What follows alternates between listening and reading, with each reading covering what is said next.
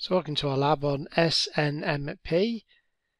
As usual, we'll use Packet Tracer. We do have other tools, but this is easy to do SNMP on. I'll drag a desktop PC to the canvas and a router.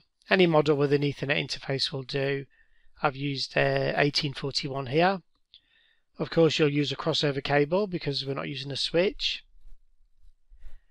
And we need to add IP addresses in the first step. So we've got IP connectivity. So on the router, its usual steps here, no, and then enable, and then we'll go to conf t, and then the interface we want, which is interface fast ethernet 0 slash 0, IP address 192.168.1.1, and 255.255.255.0. Then we'll no shut the interface, which means basically open for traffic. And on the PC, we'll click on it.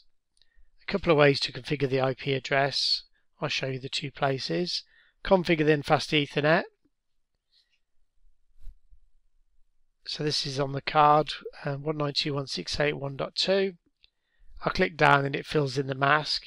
But then I've just remembered I need to actually go to the desktop and click on IP configuration because I'd like to add the default gateway, which is basically send any traffic to the IP address 192.168.1.1.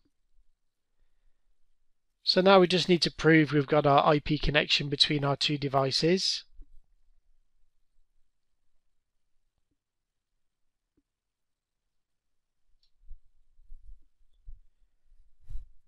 So SNMP from config mode dash server community and what we're going to configure is a SNMP community.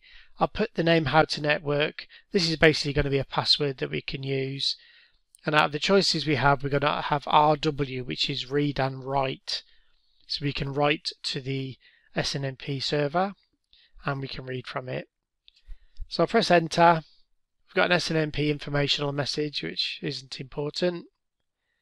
Now I'll get rid of the desktop and I'll go down to the picture of the globe which says MIB. And this is a bit tricky unfortunately, we just have to drill down. I'll put the IP address of the device that we're um, connecting to which is 192.168.1.1 and then we need to drill down to our SNMP tree. Oh, sorry, I'll click on um, advanced I need to put the um, community name, which is how to network, in both boxes. You can see the default port for SNMP there. I won't change the version. We've got version 1 and 2, possibly 3 on Packet Tracer, but you can click on the drop down if you want.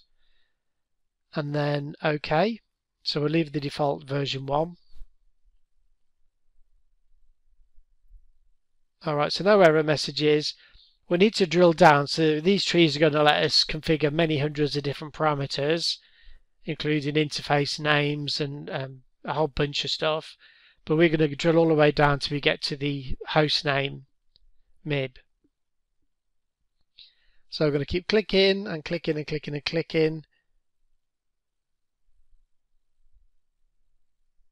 You can drag the window across in a in a moment if you want, down to management.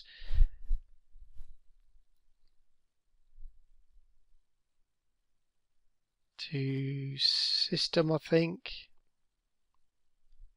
And then the system name. So this will allow us using this management station to set the host name for a remote device. You can see there's other options there, but I just wanted to keep it nice and easy. So on the top right, you can see get and um, go boxes.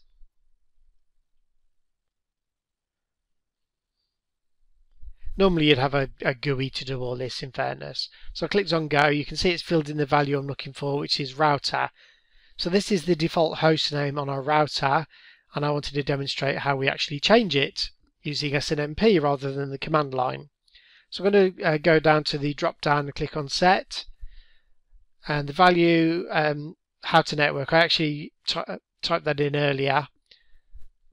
So we'll change to the uh, config string there the octet string, sorry, and then we need to change it to how to network. Clicked on go and it's changed it. I typed it in earlier, sorry, so you need to type in how to network under the name. So it should have changed the host name of the router to how to network. So I'll press the enter key now to see what's happened and it's took the change. It's now called how to network.